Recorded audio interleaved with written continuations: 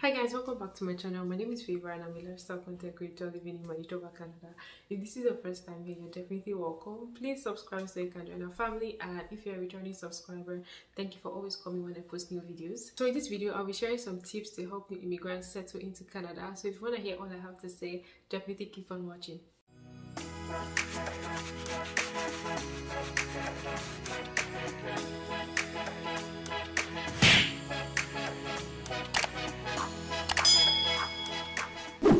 First point on my list would be for you to learn a skill. So as much as possible, please learn a skill before moving here. I have a video where I talked about skills you can learn before moving or business ideas that you can use or consider after moving here. So check that video out. I'll be putting the link in the description box below and also in the card above. So definitely check that video out. My next point would be for you to be friendly and to network. A lot of immigrants that move don't really know people in the cities they live in or they might not have families, right? So it's very important for you to network and also just to be friendly. That way you put yourself in a position to make friends and also to meet new people. So yeah definitely something to think about.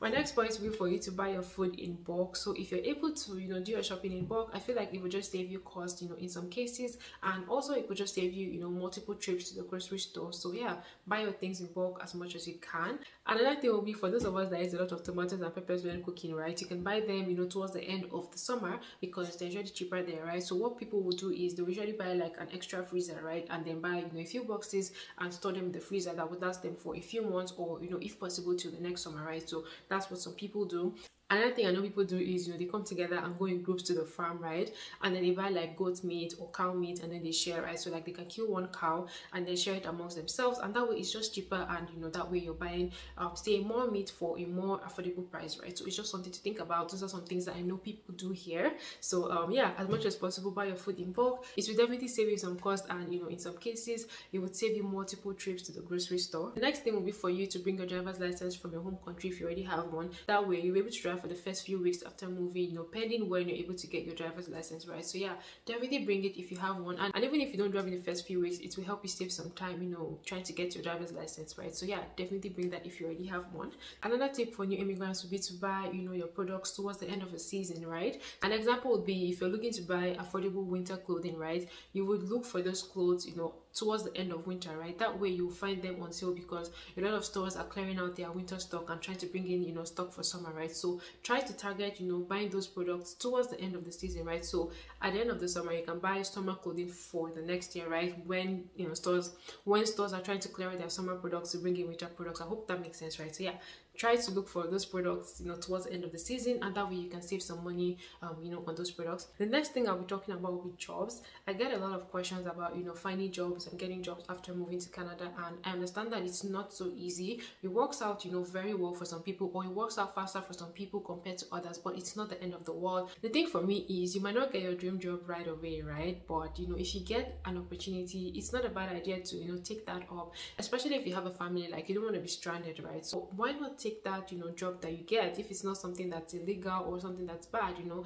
take it and while at it you can you know apply out apply to you know other other opportunities. You can apply to better opportunities right? But that way you're ensuring that you're still able to you know provide for your family to an extent and your family is not stranded right? So i think that's just the thing for me right? You might not get you know the position of your dreams right away but you know eventually it will come. Okay by god's grace but in the meantime you know you might need to do some you know other jobs that are not you know exactly what you would want or what you would like you know but you're just doing it to you know sustain yourself and sustain your family okay? I feel like i just needed to touch on that because i get questions about that or you know i just hear some conversations and i just hear how some people really really struggle just because they haven't gotten their dream job. Like honestly it's not really easy especially after moving to a place where you don't really know anyone or um, you know after moving to a place where you don't have help. So it's just something to think about you know so yeah you can take up a job and maybe even take some certification courses just to you know help you get familiar with how things are done here. And, and hopefully in no time you'll get your dream job. The last and final point for this video will be for couples to support each other as much as possible. Moving is not easy. And i can imagine moving to a place where you don't really know anyone or moving to a place where you don't have so much help right? I just feel like couples you know have each other and i feel like as much as possible please please please support each other because it's not easy. And you know just just be there for one another and help each other out where necessary. So yeah try not to be hard on yourself as much as possible and try not to be hard on your spouse as much as possible. Um yeah that'll be all for this video guys. Thank you so so much for watching. I really hope this video is helpful. And yeah as always if you have questions please leave them in the comment section down below or send me a dm on instagram and i'll respond. I'll see you in my next video. But until then stay safe and stay blessed. Bye